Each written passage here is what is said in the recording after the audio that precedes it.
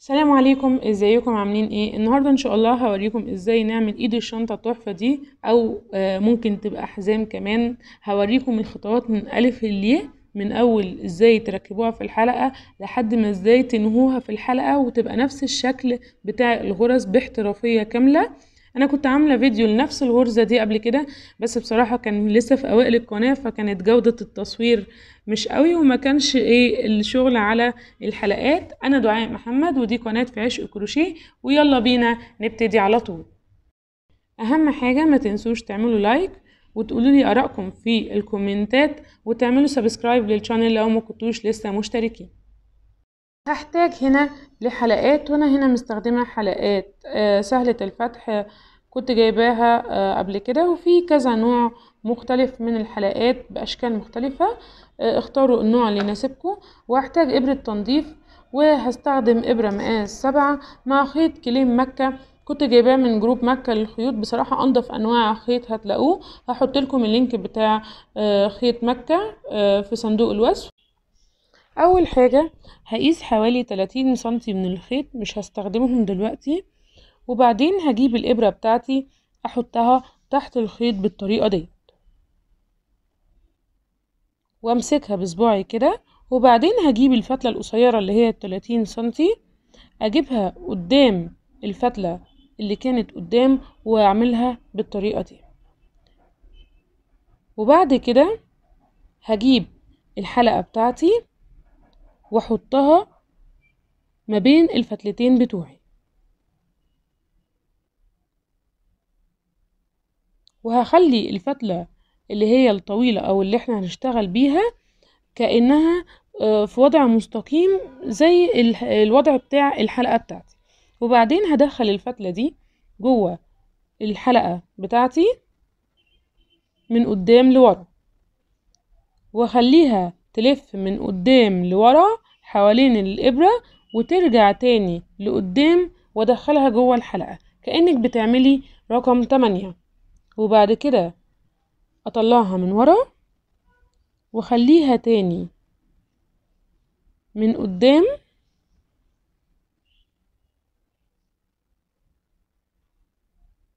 تدخل فوق الإبرة. وبعد كده ترجع لورا ونطلعها تاني لقدام ندخلها جوه الحلقة.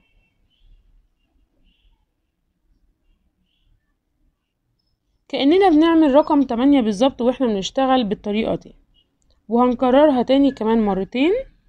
هنجيب الفتلة القصيرة نطلعها لقدام نخليها تعدي فوق الإبرة نرجعها لورا وبعد كده نطلعها لقدام ندخلها جوه الحلقة بتاعتنا.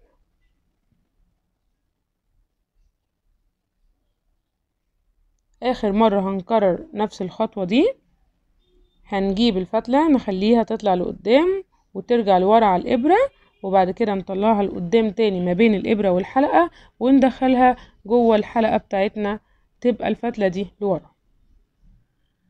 بعد كده أنا كده كونت الخمس حلقات بتوعي. طبعا لو عايزين تزودوا العدد وتزودوا العرض ممكن تعملوا كمان كذا واحدة.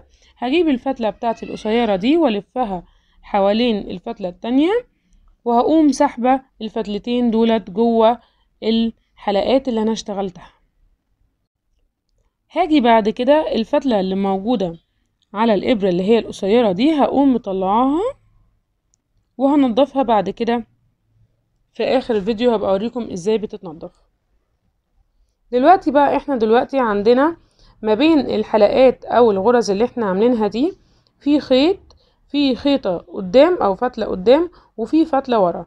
دي قدام دي اللي أنا هشتغل فيها. بصوا دي هنا اللي ورا ودي اللي قدام. أنا هسحب اللي قدام بس في الغرز اللي أنا هشتغلها. يعني بدخل ما بين الغرزة الأولى والتانية وأسحب الخيطة دي وأشدها كده. وبعد كده ما بين الغرزة التانية والتالتة بدخل أقوم سحبة الفتلة دي. وما بين التالتة والرابعة بقوم سحبة الفتلة دي. وما بين الرابعة والخامسة اللي هي آخر غرزتين بقوم سحبة الفتلة ما بينهم. ولازم تبقى الفتلة اللي قدام بس. هيتكون عندي خمس فتلات على الإبرة أقوم سحباهم مع بعض مرة واحدة. تاني أوسع على نفس الشغل كده وأخليه مرتاح وأدخل ما بين الحلقات الأولى والتانية وأسحب الفتلة الأمامية بس.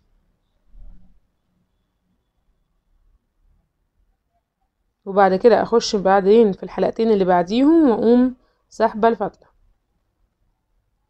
والحلقتين اللي بعديهم أقوم سحبة الفتلة. وآخر حلقتين أسحب ما بينهم الفتلة بتاعتي.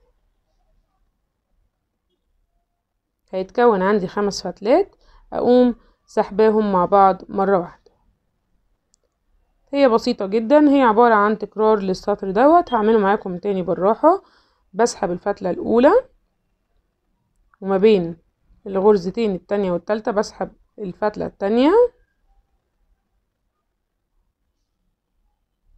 وبعد كده الفتلة التالتة وبعد كده رابع فتلة. هنلاقي إن هو اتكون عندنا على الإبرة خمس فتلات. أقوم سحباهم مرة واحدة هما الخمسة. واكرر تاني الغرزة دي لحد ما أوصل للارتفاع اللي أنا عايزاه. وصلت أنا للارتفاع اللي أنا عايزاه لل للحزام بتاعي أو للإيد بتاعتي. بس في تركاية وأنا بشتغل بصراحة آه لقيتها هتسهل عليكم جامد قوي في الشغل وأنتوا بترتفعوا كده بالإبرة دي. لفوا الخيط كده لفوق. خلوا الخيط كده لفوق. يعني اهي الخيط أهو ودي الخيطة اللي إحنا المفروض نشتغل فيها من جوه هنا. خلوها ملفوفة لفوق كده بصباعكم عشان بعد كده هتسهل عليكم قوي إن أنتوا تخشوا آه تشتغلوا في الفتلة دي. خلاص دي بس إيه حاجة كده وأنا بشتغل لقيتها وقلت لازم أقول لكم عليها عشان يبقى دايما الشغل بالنسبة لنا صح يعني إحنا دلوقتي خلصنا هنا مثلا السطر ده نقوم عاملين كده.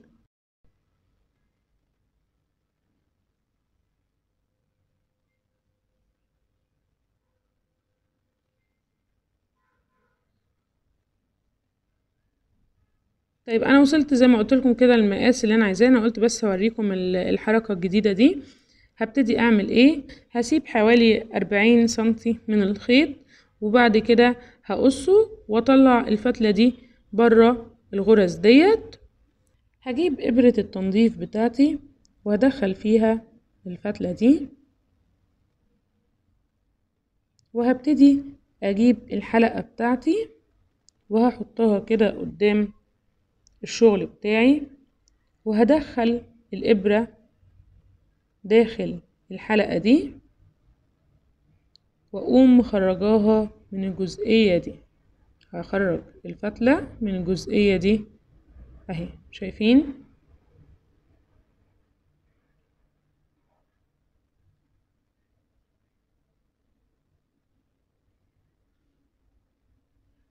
ودي كده أول غرزة. بقت شبه اللي إيه؟ الغرزة دي وبعد كده هجيب الإبرة من ورا لقدام أدخلها في الفراغ وبعدين أخرجها من الحلقة دي وأخرجها لورا. يعني أنا دلوقتي أهي دخلتها بس هخرجها من الجزئية اللي ورا بالطريقة دي.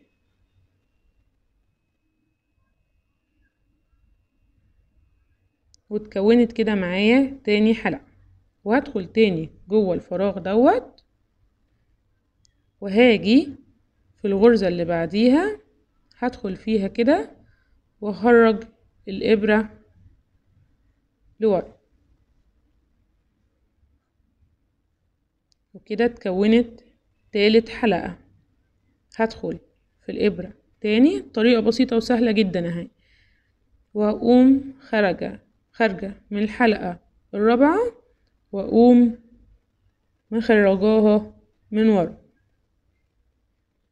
وكده اتكونت رابع حلقة وبنفس الشكل على الإبرة.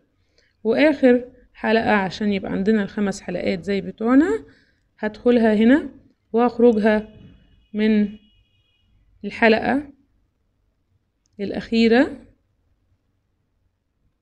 بالطريقة دي.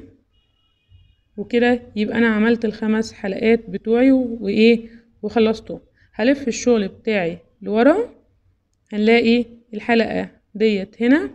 هدخل أنا بقى انضف الشغل ما بين الثلاث حلقات اللي ورا